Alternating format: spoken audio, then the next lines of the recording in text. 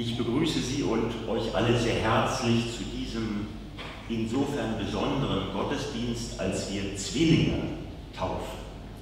Herzlich willkommen, liebe Familie Benz, mit Lene und Mara und dem großen Bruder Matteo und auch Ihrer weiteren Familie. Schön, dass Sie, dass ihr da seid. Ich grüße Sie und uns mit Worten aus dem Lukasevangelium, mit dem Wochenspruch für diese neue Woche. Es heißt dort im Kapitel 12, wem viel gegeben ist, bei dem wird man viel suchen. Und wem viel anvertraut ist, von dem wird man umso mehr fordern. Amen. Und jetzt singen wir. Ja, wir dürfen wieder singen. Psalm 118, die Strophen 1 und 5. Dankt, dankt dem Herrn, jauchzt voll Chöre.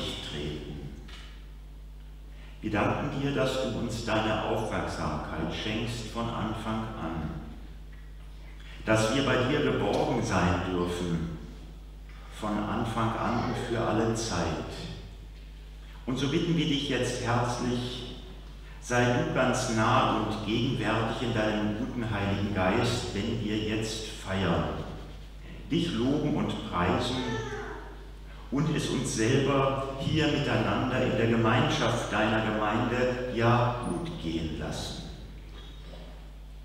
Begleite uns um Christi willen auf den Wegen, die vor uns liegen. Du allein kennst sie. Lass uns, lass Große und Kleine um seinetwillen nicht los. Amen. Wir singen vor der Taufe aus Lied 206 die Strophen 1 und 4.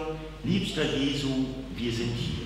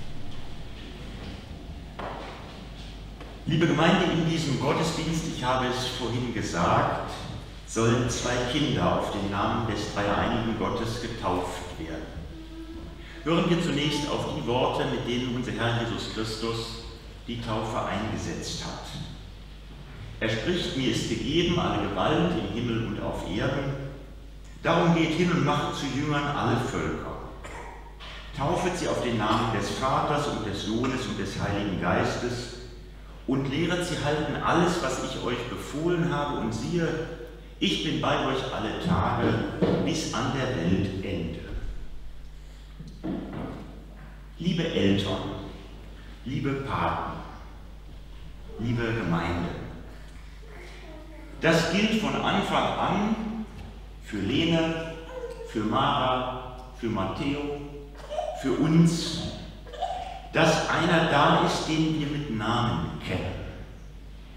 Der sagt und der heißt, ich bin für dich da. Davon lebt die Kirche der Welt und so auch unsere Gemeinde hier in Brandlicht. Davon leben dann auch wir. Unser Gott, der uns das Leben schenkt, der es uns gegeben hat, gibt uns auch sein Wort. Er hält es und er hält uns damit.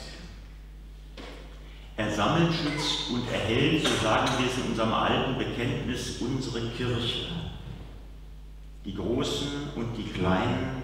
In einer Gemeinschaft, die seine Gegenwart feiert, wie wir das jetzt tun und mit ihm rechnet. Und siehe, sagt unser Gott, ich bin mit dir und will dich behüten, wo du hinziehst.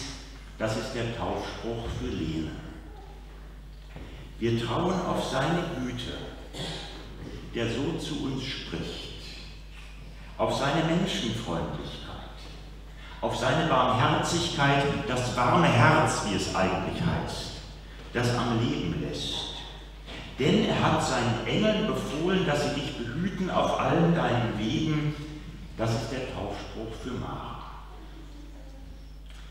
Diesen Gott, liebe Gemeinde, haben wir nötig. Ohne mich, sagt Jesus an anderer Stelle, zu denen, die ihn zeitlebens begleitet haben, ohne mich könnt ihr nichts tun.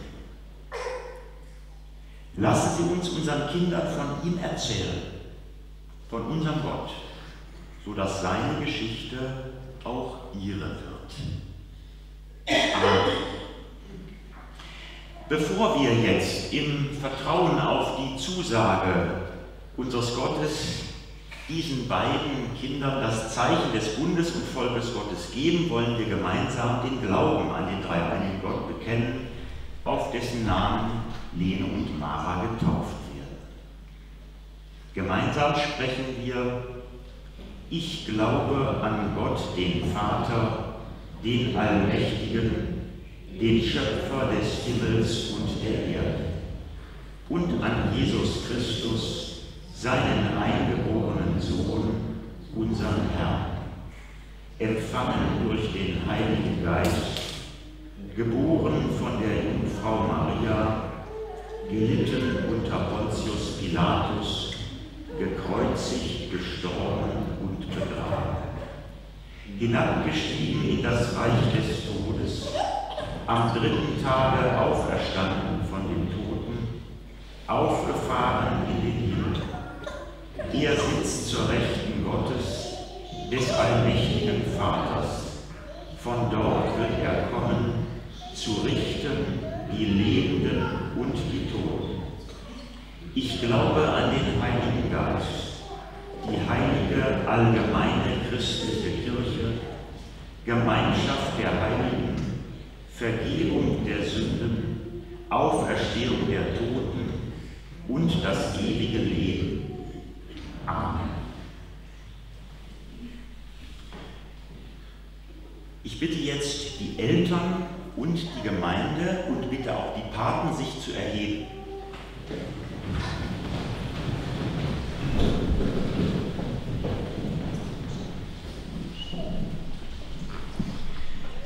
Liebe Eltern, ihr habt eure Kinder gebracht, damit in der heiligen Taufe besiegelt wird, dass sie Kinder Gottes sind und unverbrechlich zu ihm gehören. Indem ihr eure Kinder zur Taufe bringt, übernehmt ihr die Verpflichtung durch eure Erziehung und durch euer Gebet, euren Kindern zu helfen, dass sie die Bedeutung der Taufe erfahren. Indem ihr eure Kinder zur Taufe bringt, übernimmt eure Gemeinde die Verpflichtung, euch und eure Kinder durch Verkündigung und Unterweisung, also Kindergottesdienst, Kindergarten, damit geht es los, Konfirmandenunterricht, zu begleiten. Und nun frage ich euch, wollt ihr, dass eure Kinder auf den Namen des dreieinigen Gottes getauft werden und in der Gemeinschaft der christlichen Gemeinde aufwachsen? Und versprecht ihr, eure Kinder in der Lehre der christlichen Gemeinde zu unterweisen und unterweisen zu lassen, so antwortet ja. Ja. Liebe Gemeinde, wir alle als Gemeinschaft tragen Verantwortung füreinander und auch eben für die Kinder, die durch die Taufe in die Gemeinde aufgenommen werden. So frage ich auch euch und mit euch die Paten, seid ihr bereit, die Eltern in der schönen und auch schweren Aufgabe, ihre Kinder mit Gott bekannt zu machen, zu unterstützen? So antwortet gemeinsam Ja. Dann bitte ich die Gemeinde und die Paten wieder Platz zu nehmen.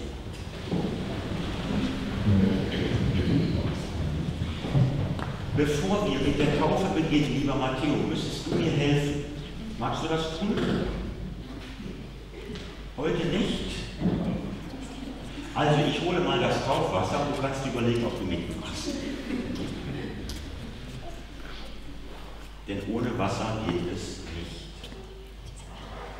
Spiel ein? Nein, musst du nicht. Wir warten ein nächstes Mal ab, ja?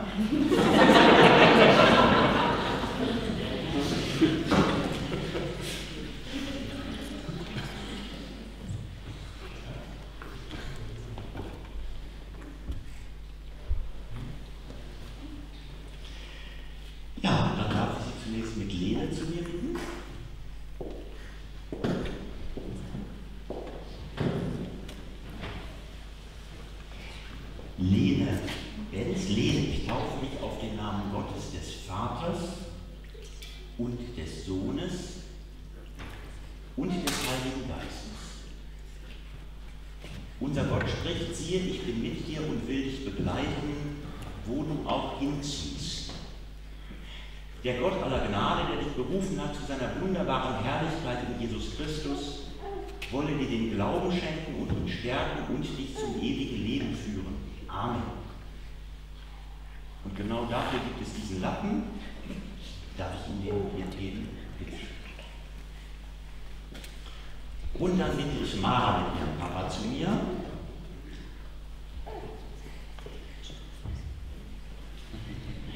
Mara Benz, Mara, ich taufe dich auf den Namen Gottes des Vaters und des Sohnes und des Heiligen Geistes. Denn er hat seinen Engeln befohlen, dass sie dich behüten auf allen deinen Wegen. Unser Gott, der dich berufen hat zu seiner wunderbaren Herrlichkeit in Jesus Christus, wolle dir den Glauben schenken und ihn stärken und dich zum ewigen Leben führen. Amen. Und auch du bekommst natürlich diesen Bitte. Ja, zu meiner Freude sind die Paten bereit, das Taufgebet zu sprechen. Dann darf ich Sie bitten, nach vorn zu kommen.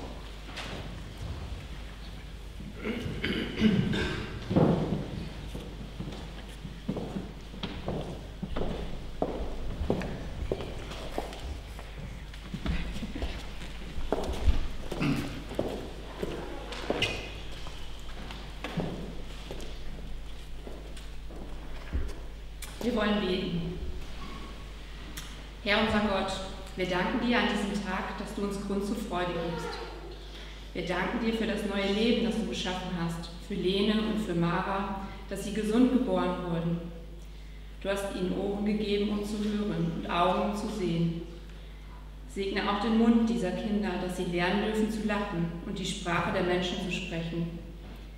Segne ihre Hände und Füße, die nie lange überlegen, ob sie helfen und gut sein sollen beten wir für Lene und Mara, dass sie in Geborgenheit und Freiheit aufwachsen können und später einmal gute Freunde als Wegbegleiter finden.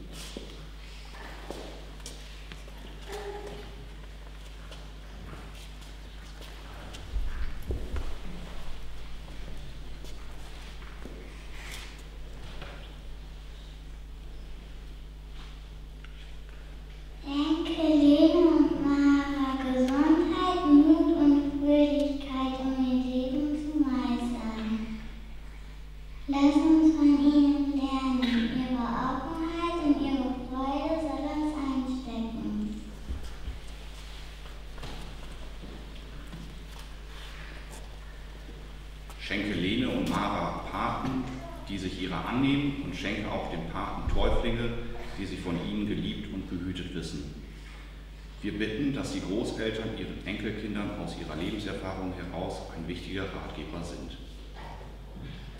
Gib Janina und André als Eltern die Ausdauer, für die Kinder da zu sein, wann immer sie sie brauchen, und gib ihnen innere Gelassenheit, wenn sie ihren Freiraum brauchen, um sich selbstständig zu entfalten.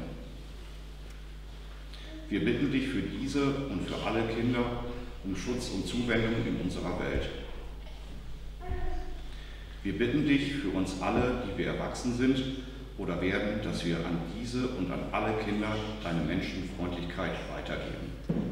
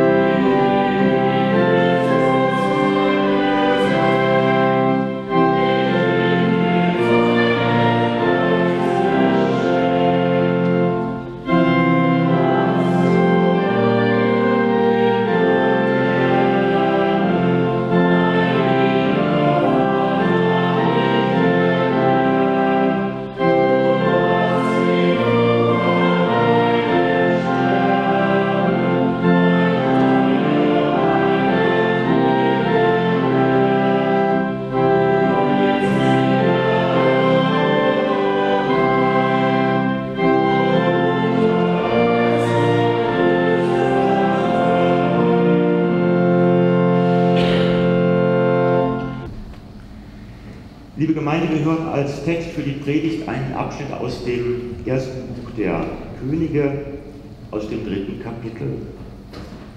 Es heißt dort, und König Salomo ging hin nach Gibeon, um dort zu opfern, denn das war die bedeutendste Kulthöhe, und Salomo opferte dort tausend Brandopfer auf dem Altar.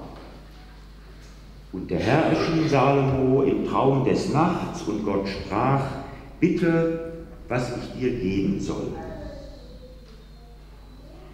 Und Salomo sprach, du hast an meinen Vater David, deinen Knecht, große Barmherzigkeit getan, wie er denn vor dir gewandelt ist, in Wahrheit und Gerechtigkeit und mit aufrichtigem Herzen und hast ihm auch die große Barmherzigkeit erwiesen und ihm einen Sohn geschenkt, der auf seinem Thron sitzen sollte, so wie es jetzt ist. Nun, Herr mein Gott, du hast deinen Knecht zum König gemacht an meines Vaters Stadt. Ich aber bin noch jung, weiß weder aus noch ein, und dein Knecht steht mitten in deinem Volk, das du erwählt hast, einem Volk so groß, dass es niemand zählen kann. So wollest du deinem Knecht ein gehorsames Herz geben, dass er dein Volk richten könne und verstehen, was gut und böse ist, denn wer vermag dies, dein mächtiges Volk, zu richten? Liebe Gemeinde, dieser Text am Tag einer Taufe. Warum? Weil jemand ganz am Anfang seines Weges steht. König Salomo. Er selber begibt sich zu Beginn seiner Zeit, und es war nicht nur in diesen Zeiten üblich, dass schon Kinder solche Verantwortung übernehmen sollten, nicht nur die Verantwortung, das Taufwasser in die Taufschale zu füllen, sondern als Herrscher designiert zu sein und sozusagen eingesetzt. Es war so üblich, dass man an einen der kultischen Orte ging, um sich von da aus Beistand zu holen. Am Anfang. So wie wir bis heute am Anfang eines Menschenlebens an einen kultischen Ort, nämlich in die Kirche gehen, um sich von Anfang an Beistand für diese Menschenleben zu holen, die gerade begonnen haben. Und Salomo geht also, tut, was man so tut. Wir singen und beten, er musste Opfer bringen. Und dann träumt er. Manche träumen auch hier. Und sie wissen, dass der Kirchenschlaf zu den gesündesten gehört. Aber in dem Fall, Salomo träumt.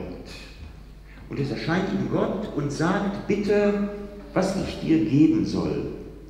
Und Salomo sagt, na ja, du hast ja schon meinem Vater Gutes getan, du warst barmherzig, das kam vorhin auch schon vor im Blick auf die Taufe. Du hast ein warmes Herz, in dem du Menschen einschließt.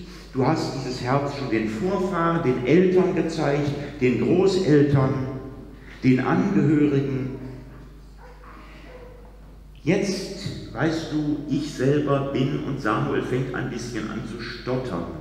Jedenfalls dann, wenn man nicht die Luther-Übersetzung nimmt, sondern in den Originaltext guckt. Samuel sagt, übersetzt, das steht im griechischen Text, es ist ja ursprünglich hebräisch und dann wurde es ins Griechisch übersetzt, ich bin ein Meganepios, ein Riesenbaby, würden wir sagen. Ich bin ein großes Kind. Wie kann ich denn dieser Aufgabe gewachsen sein, dieses Volk in irgendeiner Weise zu führen, für die Menschen da zu sein? Gerecht zu sein. Gib mir doch bitte, mir, diesem hilflosen großen Kind, wie es da steht, gib mir bitte, und er sagt eben nicht ein verständiges oder gehorsames Herz, er sagt ein hörendes Herz. Das steht dort im hebräischen Text. Gib mir ein hörendes Herz. Was für eine Bitte am Anfang eines Weges. Ich habe zu diesem hörenden Herz mit meinen Schülerinnen und Schülern im letzten Schuljahr im Neuenhaus gearbeitet, mit einer fünften Klasse. Und das war ganz großartig, muss ich Ihnen sagen, wie die Schülerinnen und Schüler versucht haben, mal darzustellen, was ist eigentlich ein hörendes Herz. Und vielleicht sehen Sie es alle vor sich und auch ihr. Da ist zum Beispiel ein Herz aus zwei Ohren entstanden. Ja? Ein hörendes Herz, ein Herz, das ganz Ohr ist, jemand, der ganz Ohr ist, der ganz offen ist, der ganz für andere da ist. Gib mir solch ein Herz. Das ist mein Wunsch. Es bleibt nicht bei dem hörenden Herzen, liebe Gemeinde, so viel kann ich schon sagen. Es heißt nämlich weiter, dass es Gott gefallen hat, dass Salomo so bescheiden war. Nicht wahr? Sie kennen diese Bescheidenheit auch. Wir sind ja auch manchmal sehr bescheiden, um etwas zu erreichen und sehr demütig und machen uns ein bisschen kleiner. Und wenn König Salomo sagt, ich bin eigentlich nur ein großes Kind, dann ist das natürlich schon nicht ganz ohne Berechnung. Aber es zeigt auch etwas von der Hilflosigkeit, wenn ein Mensch nun auf einmal und sei es im Traum Gott ausgesetzt ist. Gott freut sich über diesen bescheidenen Salomo und sagt, weißt du, du hast weder um langes Leben gebeten, noch um Reichtum, noch gar darum, dass deine Feinde sterben sollten. Du hast um ein hörendes Herz gebeten und deshalb gebe ich dir jetzt ein weises und verständiges Herz, was unvergleichlich, was dich unvergleichlich macht im Blick auf alle deine Zeitgenossen. Und noch dazu gebe ich dir, warum du nicht gebeten hast. Und jetzt zahlt sich diese Bescheidenheit des Königs aus. Noch dazu sollst du Reichtum haben, so dass auch niemand zu deiner Zeit mit dir vergleichbar ist. Und als Salomo erwachte, siehe, heißt es, da war es ein Traum. Was kein Traum war, dass er tatsächlich sein Leben zugebracht hat, so wird es jedenfalls überliefert, dass er ein offenes Herz für die Menschen bekam. Ein weites Herz. Aber vielleicht noch einen Schritt zurück. Siehe, es war ein Traum. Es gibt durchaus Menschen, die in der Bibel lesen, die sagen, naja, Träume sind Schäume und es gibt durchaus biblische Geschichten, wo das mit den Träumen nicht so gut ausgeht. Ich gehöre nicht dazu, das wird Sie jetzt nicht wundern. Weil Träume in der Bibel in der Regel eine ganz besondere Bedeutung haben. Denken Sie mal an Psalm 126, wenn der Herr die Gefangenen Zions erlösen wird. Menschen in Unfreiheit, außerhalb ihrer Heimat. Dann werden wir sein wie die Träumenden. Zu der Zukunft Gottes, zu den Verheißungen Gottes gehört, dass er uns wie Träumende macht und uns in Aussicht stellt, dass sich diese Träume erfüllen, wie sich seinem Volk Israel im Exil, in der Verbannung, dieser Traum erfüllt hat. Nicht mehr an den Wassern Babels zu sitzen, bei The Rivers of Babylon, was vielen von Ihnen bekannt ist aus den 70er Jahren, was sogar ein Hit gewesen ist, sondern von diesen Flüssen Babels wegzukommen, wieder nach Hause, dort, wo die Menschen Wurzeln geschlagen hatten und ihr Leben, ihre Zukunft verbringen. Oder denken Sie an den Traum Jakobs, der sich fürchtet, der nicht weiß, was die Zukunft bringt, und er träumt, dass auf einer Leiter, die zum Himmel führt, Engel auf und ab gehen. Da auch wieder der Traum als etwas, wo deutlich wird, in diesem ganz speziellen Erleben wird die Verbindung zu Gott vielleicht deutlicher als sonst nirgendwo. Siehe, es war ein Traum der sich für Salomo und für die, die mit ihm gelebt haben, erfüllt hat. Und ich wünsche Ihnen, so wie Salomo mit einem offenen Herzen auf die Menschen zugegangen ist und ein sehr gerechter König geworden ist, wie es heißt, ich wünsche Ihnen ein aufeinander hörendes Herz, ein gegenseitig offenes Herz, ein in diesem Sinn für Gott und Menschen weites und großes Herz, das wünsche ich Ihnen und uns allen. Amen.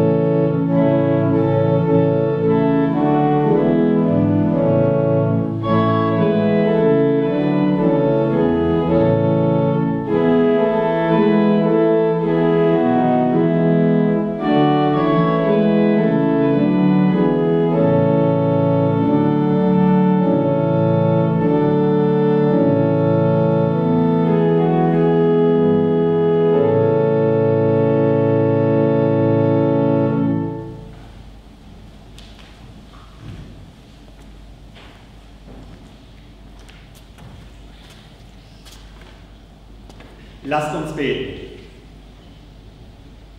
Herr, unser Gott, du rufst ins Leben und sorgst für uns und alles, was lebt. Wir danken dir dafür.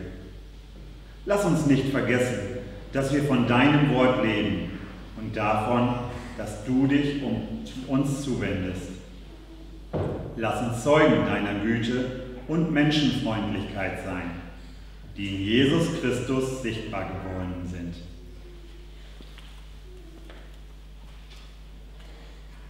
Befreie uns von Angst und Vorurteilen gegenüber denen, die uns fremd scheinen. Lass uns einander achten und voneinander lernen und dabei gemeinsam auf deinem Weg bleiben. Hilf uns, dich auch dort zu erkennen, wo wir dich nicht vermuten. Lass uns zu Menschen gehen, die uns brauchen. Lass uns herausfinden, wie sie uns brauchen und lass uns die Zeit finden, ihnen gerecht zu werden.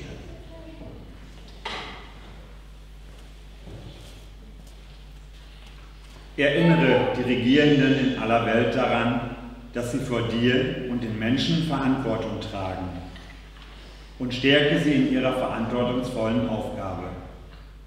Tröste die Menschen in Verfolgung und Angst. Sei bei den Opfern von Hass und Gewalt und bei denen, die einsam sind. Stehe diesen bei, die in der Flutkatastrophe alles verloren haben. Tröste du selbst, die die Trauer tragen.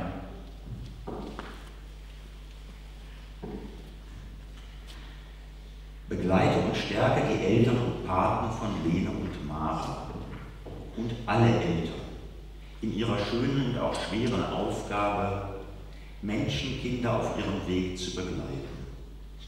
Lass ihren und unseren Glauben wachsen. Stärke die Liebe und mehre die Hoffnung, bis sie uns trägt. In der Stille bringen wir vor dich, was uns am meisten bewegt.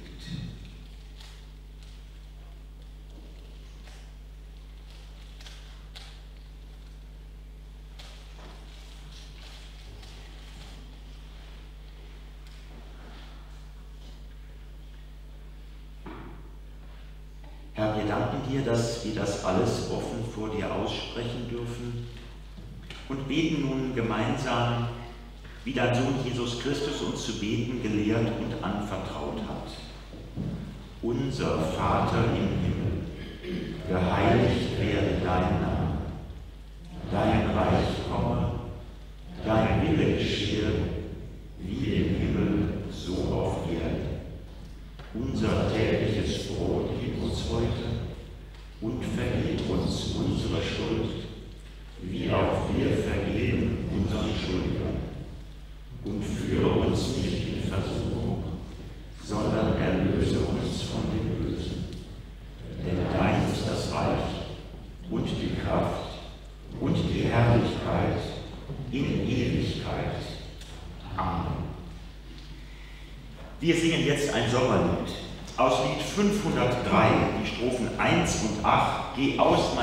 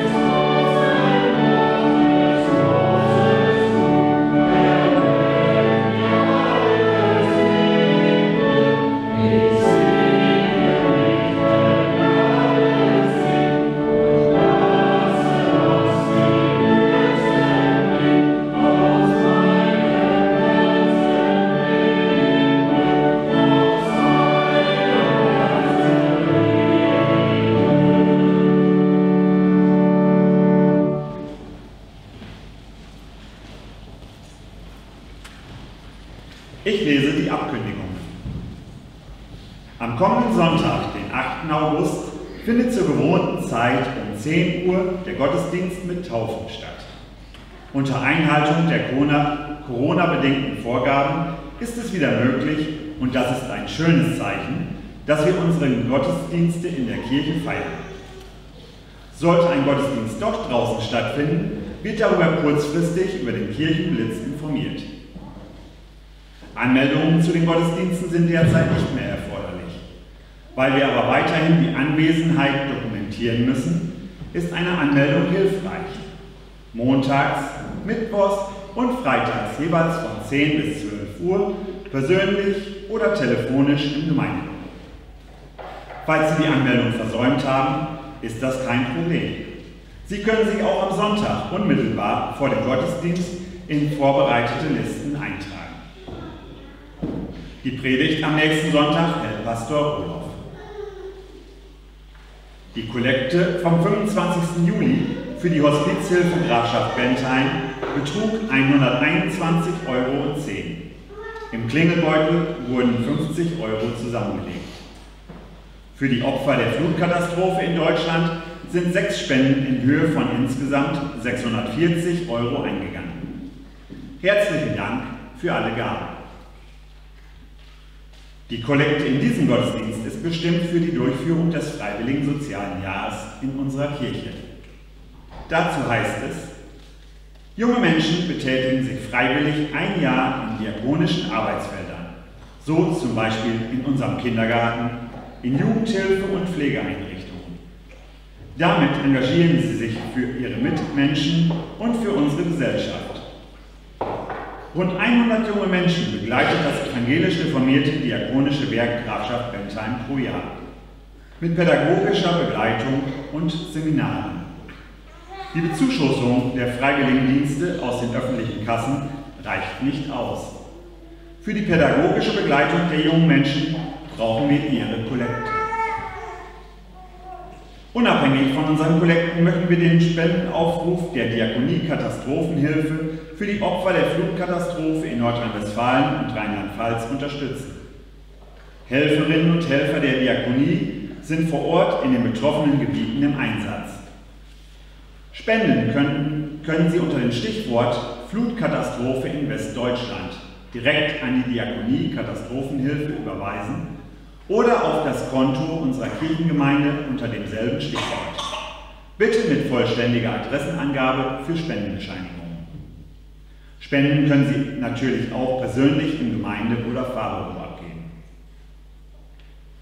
Allen, die in dieser Woche Geburtstag haben, gratulieren wir herzlich und wünschen Gottes Segen. Die Geburtstagsbesuche finden wie gewohnt statt. Der Seniorenkreis trifft sich nach langer Pause erstmals wieder am Dienstag, den 10. August. Dienstag, 10. August, um 14.30 Uhr im Gemeindehaus. Herzlich willkommen. Die Eltern-Kind-Gruppe trifft sich mittwochs von 9.30 Uhr bis 11 Uhr. Genauere Informationen erhalten Sie bei Bettina Sandschulden. Während der Sommerferien, aber auch bedingt durch die Corona-Pandemie, finden derzeit keine weiteren Veranstaltungen von Gruppen unserer Gemeinde statt. Wir singen jetzt aus Lied 171 die Strophen 1 und 4. Bewahre uns Gott, behüte uns Gott. Thank.